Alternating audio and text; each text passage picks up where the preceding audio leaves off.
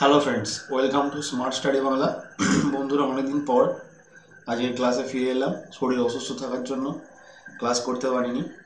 তো এখনও পুরোপুরি সুস্থ নয়, তবুও অনেকদিন ক্লাস দিতে পারিনি ক্লাস আমাকে দিতেই হবে।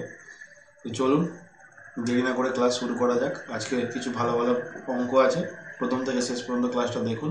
এরপরে ক্লাসে ইংলিশ ক্লাস নিয়ে আসব। ওকে তো চলুন, শুরু করি।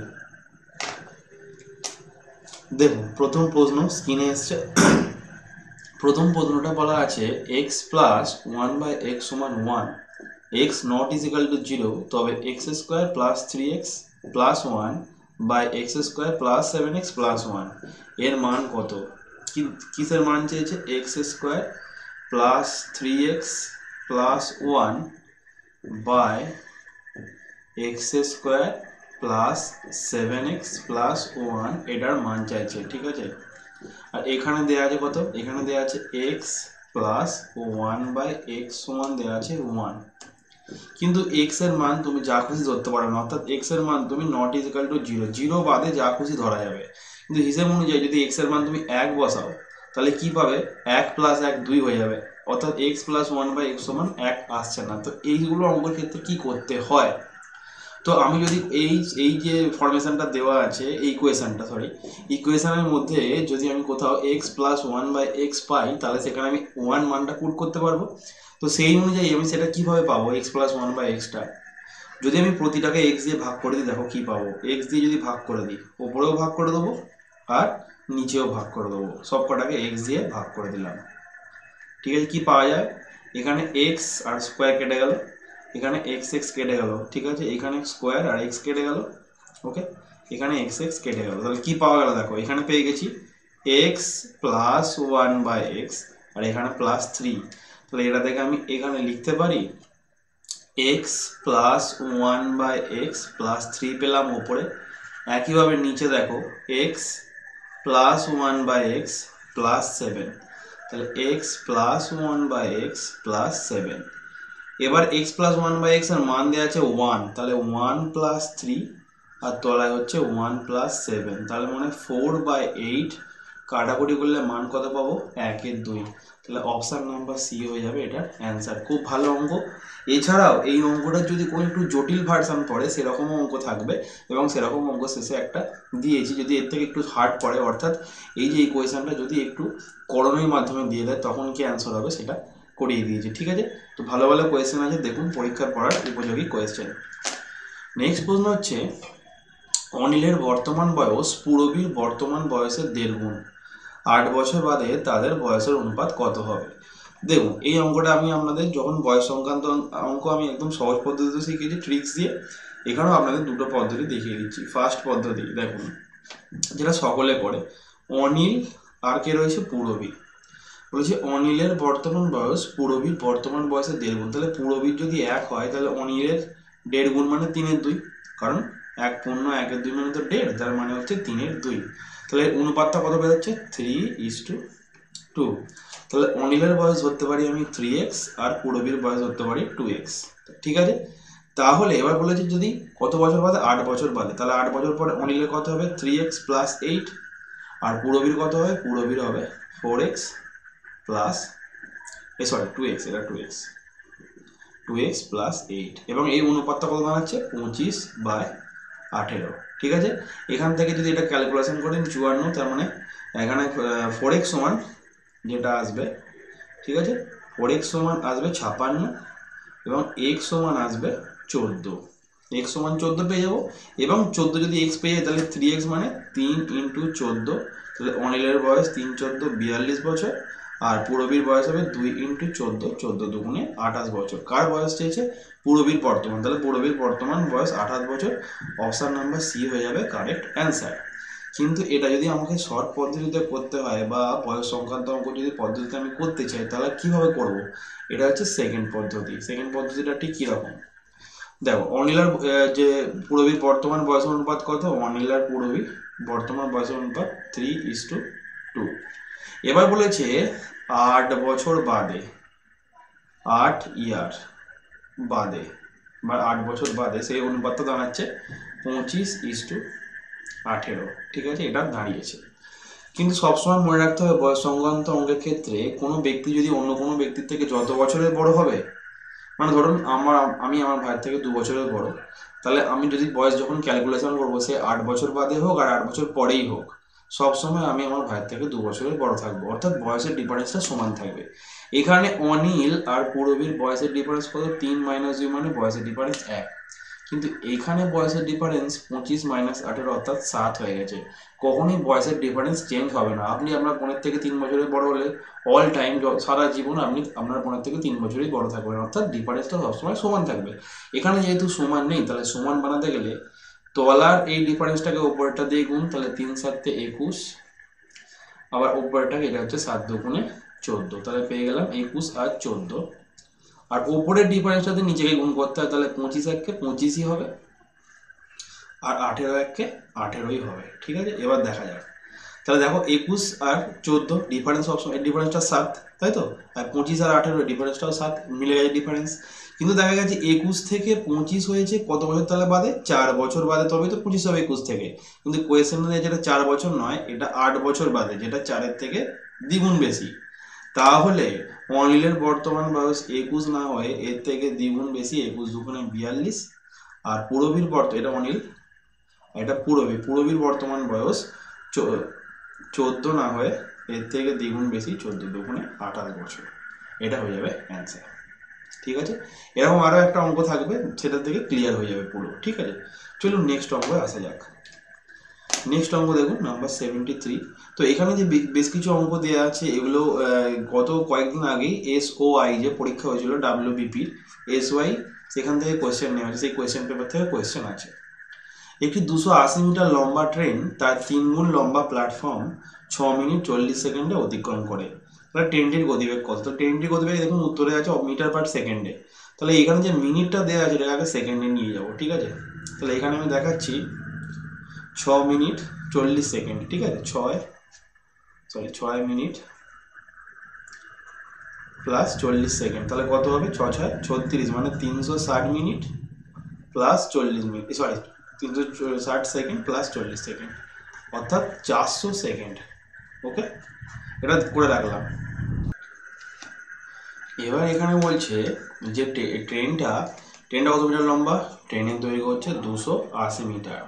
আর প্ল্যাটফর্মটা কত? প্ল্যাটফর্মটা হচ্ছে ট্রেনের তিন গুণ লম্বা প্ল্যাটফর্ম, অর্থাৎ দুশো আশি ইন্টু তিন, অর্থাৎ আটশো চল্লিশ মিটার।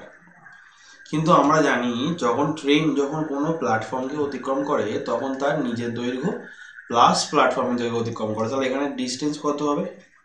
ডিস্টেন্সটা হবে টোটাল দুশো আশি প্লাস আটশো চল্লিশ। আর টাইম কত?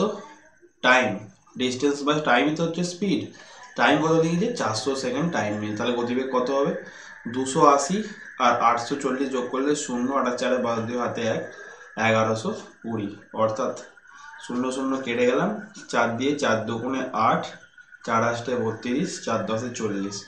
অর্থাৎ two point eight metre per second হয়ে যাবে ট্রেনটার গতিবেগ অপশান নাম্বার ডি বোঝা গেল? সহজ অঙ্ক ছিল।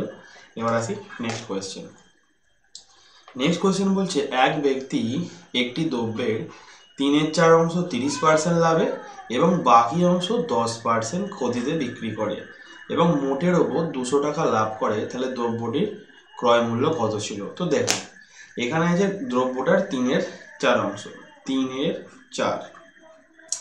তো তিনের চারটাকে যদি আমি একশো দিয়ে গুণ করে দিয়ে আমি লিখতেই পারি, ওপর নিচে যদি একশো দিয়ে গুণ করে লিখতেই পারি, তিনশো বাই চারশো, একই কথা, তিনের চার মানে তিনশো বাই চারশো লিখতেই পারি।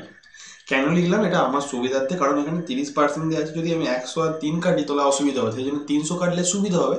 সেই জন্য আমি তিনশো আর চারশো বানিয়ে নিয়েছি। তাহলে চারশো টাকার যদি ক্রয় মূল্য হয় সিপি হয়, তার মধ্যে তিনশো টাকার যে জিনিসটা, সেটা কত পার্সেন্ট লাভ? বিক্রি করেছে? তিরিশ পার্সেন্ট লাভে। তাহলে এসপি কত হবে? তিনশো টাকার জিনিসটা যদি তিরিশ পার্সেন্ট লাভে বিক্রি করে এসপি হবে তিনশো ইন্টু একশো তিরিশ বাই একশো, শূন্য শূন্য কেটে গেল তিন তেরো উনচল্লিশ, তিনশো নব্বই টাকা হচ্ছে এসপি ওকে আচ্ছা আর বাকি রয়েছে কত? মোট তো চারশো টাকার জিনিস, তাহলে বাকি রয়েছে একশো টাকার জিনিস। এই একশো টাকার জিনিসটা কতটা পার্সেন্ট হবে একটু দশ পার্সেন্ট ক্ষতিতে। তাহলে এসপি কত? ক্ষতি মানে একশো মাইনাস দশ আগেই করে দিলাম, একশো একশো কেটে দিলাম, অর্থাৎ নব্বই টাকা এসপি ঠিক আছে? তাহলে দুটো এসপি টোটাল বেরোলো কত? চারশো আশি বেরোলো এসপি টোটাল তাহলে দেখা যাচ্ছে চারশো টাকা সিপি এখানে বিক্রি করেছে টোটাল চারশো আশি টাকায় এসপিতে তাহলে লাভ কত? লাভ হচ্ছে চারশো টাকার ওপরে লাভ হচ্ছে আশি টাকা। তাই তো? কারণ চারশো আশি মাইনাস চারশো করে দিলাম, আশি টাকা লাভ করছি। কিন্তু কোয়েশ্চেনে বলা আছে, লাভটা আশি টাকা করেনি, লাভটা করেছে দুশো টাকা। যেটা আশির থেকে দুশো বাই আশি গুণ বেশি তাহলে ক্রয় মূল্য যেটা সিপিটা চারশো ধরেছি, সেটা সিপি চারশো না হয়ে এর থেকে দুশো বাই আশি গুণ বেশি। শূন্য, এই শূন্য কাটলো আর পাঁচ আষ্টে চল্লিশ। তাহলে পাঁচ ইন্টু দুশো মানে এক হাজার টাকা হচ্ছে আসল সিপি এটা হয়ে যাবে অ্যান্সার। কোথায়? অপশান নাম্বার বি হয়ে যাবে অঙ্কটার সঠিক উত্তর। ভালো প্রশ্ন ছিল, ঠিক আছে? চলুন, এবার আসি নেক্সট কোয়েশ্চেন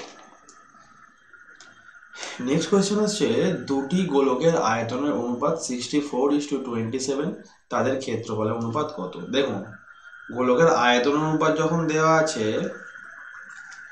চৌষট্টি ইস টু সাতাশ, তখন তখন হচ্ছে ব্যাসার্ধ হচ্ছে কিউব রুট চৌষট্টি ইস টু কিউব রুট সাতাশ, তার মানে ফোর ইস টু থ্রি এবং ক্ষেত্রফলের অনুপাত কত হবে? ক্ষেত্রফলের অনুপাত হবে চার স্কোয়ার ইস টু তিনের স্কোয়ার, অর্থাৎ ষোলো ইস টু নয়। হয়ে যাবে অ্যান্সার। কোথায়? Option number B. যাদের বুঝতে অসুবিধা হলো তাদের জন্য বলছি, ধরুন দুটো গোলকের একটার ব্যাসার্ধ যদি আর ওয়ান হয় আর একটার ব্যাসার্ধ যদি আর টু হয়, তাহলে আয়তন কত হবে? চারে তিন পাই আর ওয়ান কিউব, তাই তো? ইস টু চারে তিন পাই আর টু কিউব। যেটার মান দেওয়া আছে, আয়তন কত দেওয়া আছে? এটা চৌষট্টি দেওয়া আছে, এটা দেওয়া আছে সাতাশ। তাহলে দুই থেকে চারে তিন পাই চারে তিন পাই কেটে গেল। তাহলে আর ওয়ান কিউব যদি চৌষট্টি হয়, তাহলে আর ওয়ান মানে কত? আর ওয়ান মানে হচ্ছে চার, কারণ কিউব রুট চৌষট্টি এখানে দেখিয়েছি। আর একইভাবে আর টুর মান কত হবে? আর টু হবে কিউব রুট সাতাশ মানে হবে তিন। তাহলে ক্ষেত্রফলে আবার কি? থাকে ক্ষেত্রফলের সূত্র হচ্ছে ফোর পাই আর স্কোয়ার। এখানে আর মানে r one square is to four pi r two square দুদিক থেকে ফোর পাই ফোর পাই কেটে যাবে। তাহলে আর ওয়ান স্কোয়ার করে দিয়েছিল, ওই জন্য চার স্কোয়ার করেছিলাম। এখানে আর টু স্কোয়ার মানে তিনের স্কোয়ার ওই জন্য তিন স্কোয়ার করেছিলাম। তাহলে ষোলো ইস টু নয় হয়ে যাবে অ্যান্সার বুঝা গেল? অলরেডি সূত্র থেকে হয়ে গেল।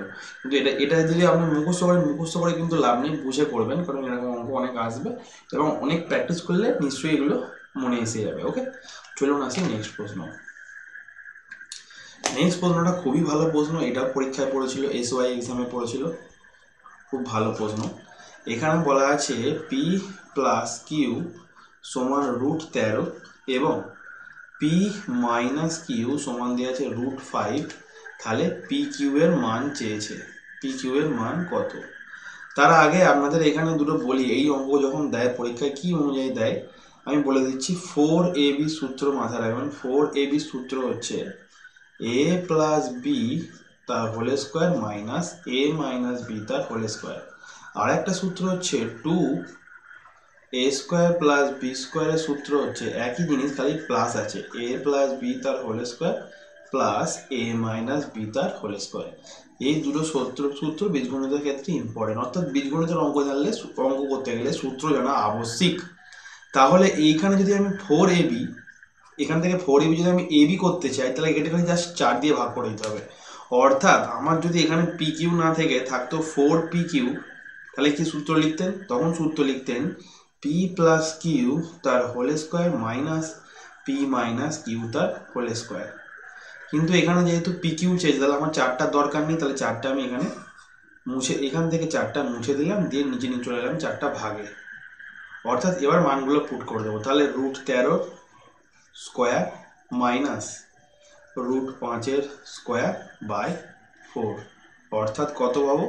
তেরো মাইনাস পাঁচ বাই ফোর অর্থাৎ এইট বাই ফোর কাটলে হয় টু তাহলে টু হয়ে গেল answer option number A most important অঙ্ক এবং খুব ভালো কনসেপ্ট রয়েছে। চলুন এবার আসি নেক্সট অঙ্ক আশা করছি বোঝা গেছে। শেষ পর্যন্ত ক্লাসটা দেখবেন।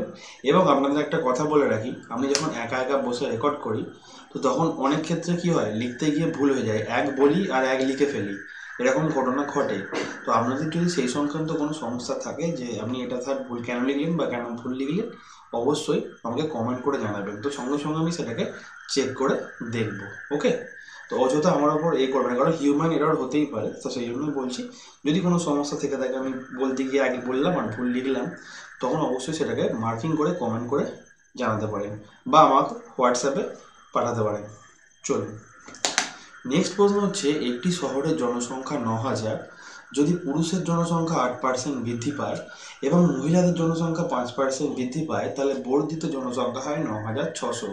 তাহলে জনসংখ্যা বৃদ্ধির পূর্বে শহরের আহ, পুরুষের জনসংখ্যা কত ছিল? তাহলে আমি যদি এখানে আচ্ছা এখানটা মুছছি ডান দিকে লিখছি অবশ্যই দেখুন ডান দিকে স্ক্রিনে দেখুন। পুরুষের পুরুষ যদি আমি ধরি এক্স তাহলে মহিলা কত? মহিলা কত হবে? ন হাজার মাইনাস এক্স কিন্তু এইভাবে করতে গেলে সংখ্যা ক্যালকুলেশন বড় হয়ে যাবে। তো এখানে বেস্ট পদ্ধতি হচ্ছে অ্যালিগেশন করা। ঠিক আছে? অ্যালিগেশনের নিয়ম কি? টোটালটাকে ধরে নিতে হবে ন হাজার অর্থাৎ ন হাজার পুরুষও ধরতে হবে বা ন হাজার মহিলাও ধরতে হবে। তাহলে যদি ন হাজার পুরুষ থাকে প্রথমে, এবং যদি আট পার্সেন্ট সংখ্যা বৃদ্ধি পায়, তাহলে কত হবে সংখ্যা? ন হাজার ইন্টু একশো আট বাই একশো। কত হবে কাটাকুটি করলে? এটা শূন্য। তিন দুটো শূন্য কেটে দিলাম। এটা করলে হচ্ছে ন হাজার আর নয় বাহাত্তর ন হাজার সাতশো কুড়ি। ঠিক আছে? আবার, এটা তো পুরুষ ধরেছি। পুরুষ। পুরুষ। আর মহিলাকে আমি এম ধরলাম এমটাকে যদি আমি ধরি টোটাল ন হাজার মহিলা ছিল। অ্যাকচুয়ালি সমজাতীয় রাশির অ্যালিগেশন হয়, সেই জন্য এগুলোকে সেম রাশি ধরতে হয়। আর কিছু ব্যাপার নয়।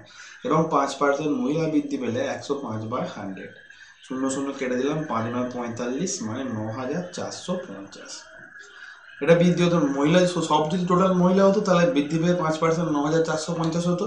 আবার সব যদি পুরুষ হতো, তাহলে বৃদ্ধি পেয়ে ন হাজার সাতশো কুড়ি হতো। কিন্তু বেড়েছে ওভারঅল কত? ওভারঅল বেড়েছে ন হাজার ছশো। তাহলে এটাকে যদি আমি অ্যালিগেশন করি ন হাজার সাতশো কুড়ি থেকে ছশো বাদ দিলে এখানে পাবো একশো কুড়ি। এবং ন হাজার ছশো থেকে ন হাজার চারশো পঞ্চাশ বাদ দিলে এখানে পাবো দেড়শো। তাহলে অনুপাত কত? স্ত্রী আর পুরুষের তিন পাঁচ পনেরো, চার পাঁচ কুড়ি। অর্থাৎ ফাইভ ইস ফোর তাহলে দেখা যাচ্ছে পাঁচ আর চারে টোটাল যদি নজন জনসংখ্যা হয়, তার মধ্যে পাঁচজন পুরুষ আর চারজন মহিলা। কিন্তু কোয়েশ্চেনে বলা যে টোটাল নয় নয় টোটাল হচ্ছে ন হাজার জন, যেটা নয়ের থেকে এক হাজার গুণ বেশি। তাহলে পুরুষের সংখ্যা এটা পাঁচ নয়, পাঁচের থেকে এক হাজার গুণ বেশি পাঁচ হাজার জন, এটাই হয়ে গেল answer option number A option number A is the correct answer বোঝা গেছে? আশা করছি ক্লিয়ার এগুলোকে অ্যালিগেশন করে করাই সব থেকে ভালো। চলুন নেক্সট প্রশ্ন আসি। নেক্সট প্রশ্নটা ভালো প্রশ্ন। সত্তর লিটার দুধপূর্ণ পাত্র থেকে কুড়ি লিটার দুধ তুলে কুড়ি লিটার জল মেশানো হলো। আবার কুড়ি লিটার মিশ্রণ তুলে কুড়ি লিটার জল মেশানো হলো। এই ঘটনা আর একবার হওয়ার পর পাত্রের দুধ ও জলের অনুপাত কত হবে? তাহলে দেখুন, প্রথমে প্রথমে ছিল সত্তর লিটার দুধ। ভালো করে বুঝুন। সত্তর লিটার দুধ। দুধ ছিল। সেখান থেকে কত লিটার তুলে নিয়েছে? কুড়ি লিটার যদি তুলে নিই মাইনাস করে দিলাম কুড়ি লিটার, তাহলে এখন দুধ কত? পঞ্চাশ লিটার। এবং এবং কি করলাম আমি? দুধ তুলে কুড়ি লিটার জল মিশিয়ে দিলাম। তাহলে এখন সত্তর লিটার থেকে কুড়ি লিটার, পঞ্চাশ লিটার কী রইল? পঞ্চাশ লিটার রইল দুধ। আর এখন সত্তর লিটারের মধ্যে কত লিটার জল তাহলে আছে? জল তো আবার কুড়ি লিটার মিশিয়ে জল হচ্ছে কুড়ি। তাহলে দুধ আর জলের অনুপাত কত হলো? দুধ ইস্টু জল। অনুপাত কত হলো? পঞ্চাশ ইস টু কুড়ি, তাই তো? অর্থাৎ যেহেতু কুড়ি লিটার দুধ তুলে নিয়েছি এবং কুড়ি লিটার জল দিয়েছি তাহলে অনুপাত হলো পঞ্চাশ ইস টু কুড়ি মানে ফাইভ ইস টু টু এই ঘটনা কবার হয়েছে, আবার কুড়ি লিটার তুলে নিয়ে, আবার কুড়ি লিটার মিশিয়েছে, আবার আরেকবার করেছে, অর্থাৎ তিনবার ঘটনা ঘটেছে। তাহলে ফাইভ ইস টু টু করে ঘটনাটা তিনবার ঘটবে। তাহলে কত হবে? একশো পঁচিশ ইস টু আট। বোঝা গেল? একশো পঁচিশ ইস টু আট হয়ে যাবে, এটা অ্যান্সার ওকে চলুন সরি এটাকে একটু, এটাকে এইভাবে ধরে করলে হবে না। সরি এটা ভুল ভুল করে ফেলেছি এটা। এটা এইভাবে করে ধরলে হবে না। এটা মোট দুধ ধরতে হবে। যেহেতু এটা সত্তর লিটার দুধপূর্ণ পাত্র ছিল সরি ডোন্ট মাইন্ড এটা সত্তর লিটার টোটাল দুধপূর্ণ পাত্র ছিল, ঠিক আছে? তাহলে মোট দুধ ছিল সত্তর লিটার। টোটাল এইভাবে করতে হবে। মোট ছিল আর কি। মোট সত্তর লিটার। আর তুলে নিলাম কত? তুলে নিলাম হচ্ছে আমি কুড়ি লিটার তুলে নিয়েছি। ঠিক আছে? তাহলে অ্যাকচুয়ালি অনুপাত কত হচ্ছে? টু বাই সেভেন ঠিক আছে? তাহলে দু লিটার যদি তুলে নিই যে কুড়ি লিটার তুলে নিয়েছে, তাহলে এখন দুধ কত আছে? সাতের মধ্যে আছে পাঁচ। তাহলে এইটা এইভাবে দেখুন, আগে দুধ আর বর্তমানে দুধ, ঠিক আছে? ভালো করে গেলে এইভাবে ধরে করতে হবে, নাহলে কিন্তু মুশকিল হয়ে যাবে, গন্ডগোল হয়ে যাবে। আমরা যেমন যেভাবে গন্ডগোলটা করে ফেললাম। তাহলে আগে দুধ ছিল সাত, এখন দুই, কুড়ি লিটার তুলে নেওয়ার ফলে পাঁচ। আমি জলটাকে হিসেবই করব না, ঠিক আছে? এই জলটা দেওয়া আছে বলে কুড়ি লিটার তুলে নিয়ে অ্যাকচুয়ালি ওখানে কোয়েশনে থাকে সম পরিমাণ জল মেশানো হলো। তো এই কুড়িটার জন্য ডিস্টার্ব হলো, একটু এখানে সম পরিমাণ থাকে আর এখানে সেটাকে বলেই দিয়েছে, ঠিক আছে? তো ধরতে হবে এইভাবে, তাহলে আগে দুধ আর এখন দুধ। তাহলে এই ঘটনা কভার করা হয়েছে? এই ঘটনা তিনবার করা হয়েছে, ঠিক আছে? তিনবার করা আছে বলে, এটা তিনবার করলাম। তাহলে সাতের কিউব হচ্ছে তিনশো তেতাল্লিশ আর পাঁচের কিউব কত হচ্ছে? একশো পঁচিশ। ওকে? পাঁচের কিউব হচ্ছে একশো পঁচিশ লিটার। তাহলে দেখা গেল, মোট পাত্রে আগে দুধ ছিল তিনশো তেতাল্লিশ আর এখন দুধ হয়েছে একশো পঁচিশ মিটার। তার মানে বাকিটা কি মেশানো হয়েছে? বাকিটা মেশানো হয়েছে জল। তাহলে জল কত? তিনশো তেতাল্লিশ মাইনাস একশো পঁচিশ। ঠিক আছে? এটা হচ্ছে দুশো আঠেরো। আঠেরো লিটার কী রয়েছে? জল, ঠিক আছে? তো এখানে বলেছে তাহলে দুধ ও জলের অনুপাত, তাহলে দুধ ও জলের অনুপাত, দুধ ও জলের অনুপাত হবে, দুধ হচ্ছে একশো পঁচিশ আর জল হচ্ছে দুশো আঠেরো। আসলে অপশানগুলো থাকলেও সুবিধা হতো, অপশানগুলো ওখানে কেটে গেছে বলে সমস্যা হয়ে গেছিল, ঠিক আছে? তো এটা হবে সঠিক উত্তর, এটা একদম পারফেক্ট রাইট অ্যান্সার ঠিক আছে? চলুন এরকম অঙ্ক নেক্সট ক্লাসে আর একবার করিয়ে দেবো, যাদের বুঝতে যদি অসুবিধা হয়। ঠিক আছে? চলুন। আমি যদি ওটাকে কেটে দিয়ে ভিডিওটাকে ক্রপ করতাম, তাহলে আবার সমস্যা হতো, আবার পুনরায় ভিডিওটা করতে হতো। ঠিক আছে? তো চলুন নেক্সট প্রশ্ন। নেক্সট প্রশ্ন হচ্ছে, এক ব্যক্তি দশ টাকা কেজি ধরে আশি কেজি আলু কেনেন এবং তিরিশ কেজি আলু পঁচিশ পার্সেন্ট লাভে বিক্রি করেন আর বাকি আলু প্রতি কেজি কত টাকা দরে বিক্রি করলে মোটের ওপর পঁয়ত্রিশ পার্সেন্ট লাভ হবে? তাহলে মোটের ওপর লাভ করতে গেলে মোট ক্রয় মূল্য তো জানতে হবে। তাহলে মোট ক্রয় মূল্য কত হবে? আশি কেজি আলু কিনেছে টোটাল ক টাকা দরে দশ টাকা দরে তাহলে আশি ইন্টু দশ। মানে আটশো টাকা হচ্ছে মোট ক্রয় মূল্য। কিন্তু সে মোটের ওপর কত লাভ করেছে? পঁয়ত্রিশ পার্সেন্ট লাভ করেছে। মোটের ওপর লাভ পঁয়ত্রিশ পার্সেন্ট তাহলে কত টাকায় বিক্রি? আটশো ইন্টু একশো পঁয়ত্রিশ বাই একশো। কাটাকুটি করে দিলাম এটাকে, ক্রয় মূল্যটাকে। তাহলে পাঁচ আসতে চল্লিশে শূন্য, হাতে চার। তাহলে তিন আসতে চব্বিশ আর চারে আঠাশের আট, হাতে দুই আট একে আঠাশ দুই দশ। এক হাজার আশি টাকায় টোটাল বিক্রি করেছে, তাই তো? এবার বলেছে তিরিশ কেজি আলু পঁচিশ পার্সেন্ট লাভে বিক্রি করে তাহলে তিরিশ কেজি আলুর দাম কত? তিরিশ ইন্টু দশ মানে তিনশো টাকার আলু। কত দামে বিক্রি করেছে? পঁচিশ পার্সেন্ট লাভে মানে একশো পঁচিশ বাই একশো টাকা। তাই তো? তাহলে শূন্য শূন্য কাটলাম, তিন পঁচিশে পঁচাত্তর, তিনশো পঁচাত্তর টাকায় বিক্রি করেছে। তাহলে টোটাল এক হাজার আশি টাকায় বিক্রি করতে হবে, আর এ বিক্রি করে তিনশো পঁয়াত্তর টাকায়। তাহলে বাকি কত আলু? বাকি যে পঞ্চাশ কেজি আলু, সেটা কত টাকায় বিক্রি করতে হবে? এক হাজার আশি মাইনাস তিনশো পঁচাত্তর। ঠিক আছে? তাহলে হয়ে যাবে কত? সাতশো পাঁচ টাকায়। এবার এটাকে যদি সাতশো পাঁচকে যদি আমি পঞ্চাশ দিয়ে ভাগ করি, তবেই আমি এক এক কেজি কত করে বিক্রি করতে হবে সেটা পেয়ে যাব। কারণ পঞ্চাশ কেজি আলু, সাতশো পাঁচ টাকায় বিক্রি করতে হবে। তাহলে এক কেজি আলু পাঁচ এককে পাঁচ সরি পঞ্চাশ এককে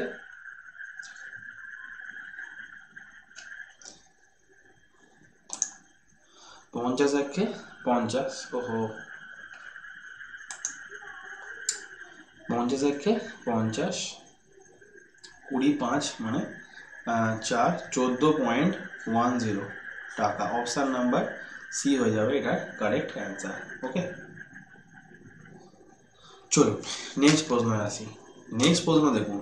নেক্সট প্রশ্ন এই ধরনের অঙ্ক আপনারা নিশ্চয়ই আগেও দেখেছেন, তো এটা কেন দিয়েছি? এটার ক্ষেত্রে কি করতে হয়? পুরো অঙ্কটা করার দরকার নেই। শুধু দেখতে হয় তিনশো তেত্রিশ। আর এটা দেখতে হয় কিউব। তাহলে তিনশো তেত্রিশের পরে যে কিউব সংখ্যাটা আছে, অর্থাৎ ঘন সংখ্যাটা আছে, সেটা কত? তিনশো তেত্রিশের পরে যে ঘন সংখ্যাটা আছে, সেটা হচ্ছে তিনশো তেতাল্লিশ। তিনশো তেত্রিশ তো কোনো ঘন সংখ্যা নয়, তিনশো তেতাল্লিশ। কার ঘন? এটা হচ্ছে সাতের ঘন। তাহলে অ্যান্সার হবে সাত। এবার যদি এবার যদি এটাকে ফুল প্রসেসে করতে হয়, তাহলে দেখুন এটা আছে কিউব রুট তিনশো তেত্রিশ প্লাস কিউব রুট নশো সাতাশি প্লাস কিউব রুট দু হাজার একশো সাতানব্বই। তাহলে দু হাজার একশো সাতানব্বই মানে কত? দু হাজার একশো সাতানব্বইয়ের কিউব রুট করলে হয় তেরো। আবার নশো সাতাশি প্লাস তেরো মানে কত হচ্ছে? মানে হচ্ছে হাজার। আর হাজারের কিউব রুট করলে কত হয়? হাজারের কিউব রুট করলে হয় দশ। তাহলে এই জায়গাটা পুরোটা কত হয়ে গেল? হাজারের কিউব রুট করে দিলাম, হয়ে গেল দশ। তাহলে কিউব রুট তিনশো তেতাল্লিশ মানে হয়ে গেল সাত। সেই জন্য বলছি এই অঙ্কগুলো যখনই দেবে পরীক্ষায়, তখন আমাদের পুরোটা করার দরকার নেই, খালি যেভাবে বললাম সেভাবে করে নেক্সট নেক্সট অঙ্ক, এটা খুবই ভালো অঙ্ক। যদি x plus one by x সমান টু হয়, তবে এক্স টু দি পাওয়ার তিনশো তেতাল্লিশ plus one by x to the power one nine nine nine এর মান কত হবে? দেখুন, এটা যতই থাকুক এক্স টু দি পাওয়ার নশো নিরানব্বই plus one by x to the power নশো নিরানব্বই যদি এরকমও থাকে, তাহলে এর মান দুই হবে। কখন? যদি x plus one by x সমান দুই হয়। কেন? কারণ এক্সের মান যদি আমি এক ধরি, তবেই এটা x plus one by x সমান দুই হবে। কেন? এক্সের জায়গায় এক বসালাম, তাহলে এটা one plus one by one মানে কত? ওয়ান প্লাস ওয়ান মানে দুই। অর্থাৎ x plus one by x সমান দুই তখনই হবে যদি এক্সের মান এক হয়। ওকে এবার এটা যাই থাকুক না কেন, এটার মান উত্তর সবসময় দুই হবে। ওকে নেক্সট ভালো অঙ্ক, ভালো কনসেপ্ট দুটি সংখ্যার সমষ্টি পঁচিশ এবং বিয়োগফল তেরো, সংখ্যা দুটির গুণফল কত? দুটি সংখ্যার সমষ্টি, যদি সংখ্যা একটা এ আর সংখ্যা বি হয়, সমষ্টি দেওয়া আছে এ প্লাস বি দেওয়া আছে পঁচিশ আর এ মাইনাস বি দেওয়া আছে কত? তেরো। ওকে আচ্ছা। এখানে চেয়েছি গুণফল। গুণফল মানে এ বি তাহলে একটু আগে এ বি সূত্রে আমি বললাম এ প্লাস বি তার whole square minus a minus b তার হোল স্কোয়ার বাই ফোর অর্থাৎ এটা ফোর এ বি সূত্র আর ফোরটাকে আমি কেটে নিচে নিয়ে এসেছি। এবার মান পুট করলেই হবে। এটা হচ্ছে পঁচিশে স্কোয়ার মাইনাস তেরো স্কোয়ার বাই ফোর পঁচিশে স্কোয়ার হচ্ছে ছশো পঁচিশ আর তেরো স্কোয়ার হচ্ছে একশো উনসত্তর বাই ফোর তাহলে নয়ের পর থেকে পনেরো হচ্ছে ছয়, তারপরে সাত আর পাঁচে বারো পাঁচ, চারশো ছাপান্ন বাই চার। অর্থাৎ কাটলে হয় একশো চোদ্দ। কোথায় আছে? অপশান নাম্বার সিতে আছে একশো চোদ্দ, এটাই হয়ে যাবে অ্যান্সার এবং ভালো অঙ্ক। নেক্সট কোয়েশ্চেন যদি ক্রয় মূল্য আর বিক্রয় মূল্যের অনুপাত ফোর ইস টু ফাইভ হয় তবে শতাংশ লাভ কত? সোজা এটা সকলেই পড়বে সিপি আর এসপি সিপি চার আর এসপি পাঁচ। তাহলে লাভ কত? এক। আর চার টাকায় এক টাকা লাভ মানে পঁচিশ পার্সেন্ট লাভ। এটা একদম বাচ্চাদের অঙ্ক। এটা পরীক্ষায় পড়েছিল বলে এটা দিয়েছি। কারণ সবই শক্ত থাকবে ও মডারেট থাকবে এমন নয়, দুটো একটা একদম ইজিও থাকে পরীক্ষায়। তো সেইভাবে কোয়েশ্চেনটা করা। এবার দেখুন এই অঙ্কটা আমি বলেছিলাম যে, এই অঙ্কটা যে আমাদের করতে যে কীভাবে করতে হবে, ঠিক আছে? তো দেখুন, এখানে কিন্তু সেম প্রথম অঙ্কটার মধ্যে অঙ্ক কিন্তু এখানে এক্স সমান root five plus one by root five minus one দেওয়া আছে। তো সাপোজ যদি এক্স সমান থাকে আমার তিনের চার, তাহলে ওয়ান বাই এক্স সমান নিশ্চয়ই এটা উল্টে চারের তিন হয়ে যাবে, একদম এটা শিওর কারণ এক্সের উল্টো যদি একের এক্স হয়, তাহলে তিনের চারের উল্টো চারের তিন। একইভাবে এক্স সমান যদি root five plus one by root five minus one হয়, তাহলে এক্স ওই ওয়ান বাই এক্স সমান root five minus one by root five plus one হবে। ঠিক আছে? এবং এক্স প্লাস ওয়ান সমান আমি কি পাবো? X plus one by x সমান আমি এটা করলে কি পাবো? এটা করলে পাবো, এটা হবে root five minus one into root five plus one দেখুন, এটা একবারে করে দেয়। আমি এটাকে বলতে পারি একবারে চার। কিন্তু কি করে চার হলে? অনেকের সমস্যা হবে। এটা হচ্ছে a minus b into a plus b মানে a square minus b square অর্থাৎ রুট পাঁচ স্কোয়ার মাইনাস রুট এক স্কোয়ার মানে পাঁচ মাইনাস এক মানে চার হবে। এটা একদম সিও তবুও বোঝানোর জন্য এটা বলতে হয়, সেই জন্য বলে দিলাম। তাহলে ওপরে এখানে কি পাবেন? ওইটা দুটোকে যোগ করলে এটা হবে ওপরে রুট ফাইভ প্লাস ওয়ান তার whole square plus root five minus one তার হোল স্কোয়ার অর্থাৎ ওপরে দেখা গেল, আমি যদি রুট ফাইভটাকে এ ধরি আর ওয়ানটাকে বি ধরি, তাহলে ওপরে দেখা গেল এ প্লাস বি তার হোল স্কোয়ার মাইনাস এই প্লাস এ মাইনাস বি তার হোল স্কোয়ার আছে, আর নিচে পাঁচ মাইনাস এক মানে চার হবে এটা। কি করে পেলাম? পেয়ে গেছি। তো এটা একটু আগে আপনাকে বলেছিলাম, এটা কিসের সূত্র? এটা two into a square plus b স্কোয়ারের সূত্র। আর তলায় রয়েছে চার, এটা কাটলে হয়? দুই। তাহলে এখানে এ মানে কত? রুট ফাইভ সেই জন্য রুট ফাইভ স্কোয়ার আর বি মানে এক এক স্কোয়ার বাই দুই। তাহলে উপরটা হচ্ছে পাঁচ প্লাস এক বাই দুই। তার মানে ছয় বাই দুই কাটাকুটি করলে অ্যান্সার আসবে তিন এবং এটা মোস্ট ইম্পর্টেন্ট অঙ্গ বিভিন্ন পরীক্ষায় পড়ার জন্য এটা কিন্তু ইম্পর্টেন্ট ঠিক আছে? ভেরি ভেরি ইম্পর্টেন্ট এ ধরনের অঙ্ক পরীক্ষায় পড়বে অবশ্যই। নেক্সট প্রশ্ন হচ্ছে, বর্তমানে পিতার বয়স পুত্রের বয়সের পাঁচ গুণ, আট বছর পরে পিতার বয়স পুত্রের বয়সের তিন গুণ হবে। তারপর বলছে, পিতার বর্তমান বয়স কত? ঠিক আছে, এটাও সেম পদ্ধতিতে করা যায়। বা আপনি দুটো পদ্ধতি ফলো করতে পারেন যেটা আপনার ইচ্ছা হবে। বর্তমানে পিতার বয়স, পুত্রের বয়সের পাঁচ গুণ। তাহলে পুত্র যদি এক হয়, তাহলে পিতা কত হবে? পাঁচ গুণ মানে ফাইভ তাহলে অনুপাত হচ্ছে ফাইভ ইস টু ওয়ান তাহলে পিতা ফাইভ এক্স আর পুত্র শুধু এক্স ধরতে পারেন। তাহলে যদি বলে যে আট বছর পরে, তাহলে আট বছর পরে পিতার হবে ফাইভ এক্স প্লাস এইট আর পুত্রের হবে এক্স প্লাস এইট এবং এই অনুপাতটা কত দাঁড়াবে এই অনুপাতটা বলছে পিতার বয়স, পুত্রের বয়সের তিন গুণ হবে। অর্থাৎ এই অনুপাতটা দাঁড়াবে থ্রি ইস টু ওয়ান আপনি এটাকে ধরে ক্যালকুলেশনে করতে পারেন। আর অন্য পদ্ধতি যেভাবে শেখালাম, যে বর্তমানে পিতা পুত্রের বয়সের অনুপাত ফাইভ ইস টু ওয়ান দেখা যাচ্ছে পিতা পুত্র থেকে চার গুণ চার বয়সে বেশি। কিন্তু বলেছে আট বছর পরে, আট বছর পরে পিতার বয়স পুত্রের বয়সের তিন গুণ অর্থাৎ পিতা যদি তিন হয়, পুত্র হবে এক। তাহলে ডিফারেন্স হয়ে যাচ্ছে দুই, যেটা কখনোই কাম্য নয়।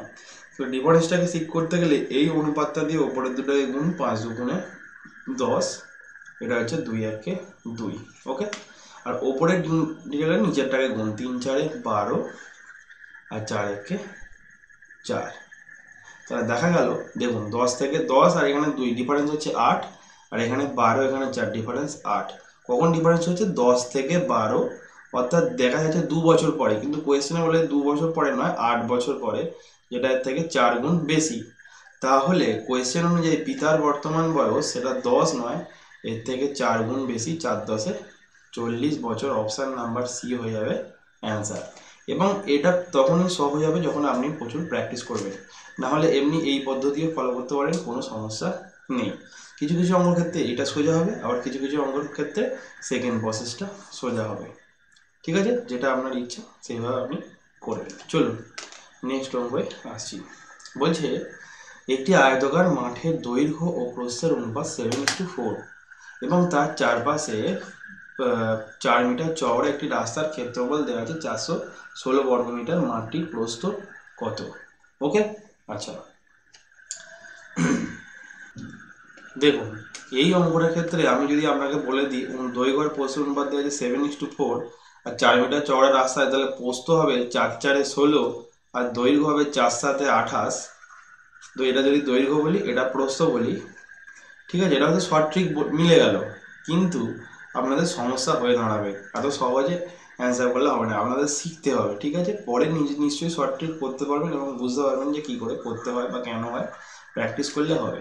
তো প্রথমে বুঝতে গেলে আমাকে এটা একটা আয়তকার মাঠের মাঠ আছে।